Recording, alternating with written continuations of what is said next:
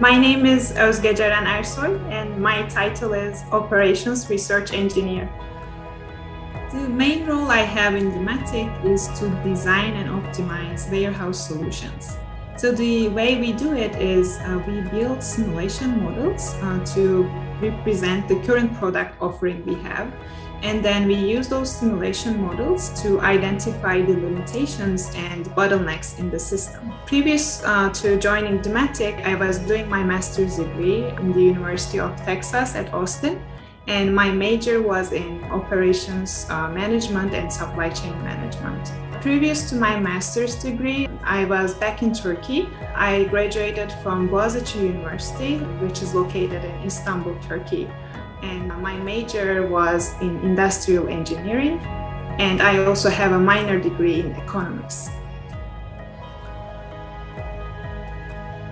And I think it's really fascinating, you know, how much you can accomplish with a computer program and simulation you know, to represent those different entities in a warehouse in a computer and then test, you know, different algorithm and it will save you time and money at the end of the day. So outside of work, I really like singing and playing the piano.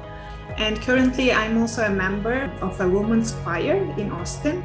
And during COVID, we had to have these virtual uh, rehearsals. Turns out to be great, actually. You know, we, you wouldn't expect singing on your own, but thanks to technology, you know, you can bring those videos in, and have the harmony still, even though it's a virtual choir. So um, sometimes I have those challenges in the sense that it will be weird to be the only woman among such a big group. But other than that, in general, like the environment is really supportive and uh, open to collaboration, I would say. So my uh, first suggestion for the women who want to be in tech industry is uh, to really identify which field or which area they uh, most want to work in. And the other um, thing, based on my experience, is I think it's very important to take initiative. If I see something that is implemented wrong or done wrong, I really think I should raise my voice and let my managers know. So I think that's also very important and it's very appreciated from the others in the company as well. That shows uh, how much you care about not only your work, but also as a company in general.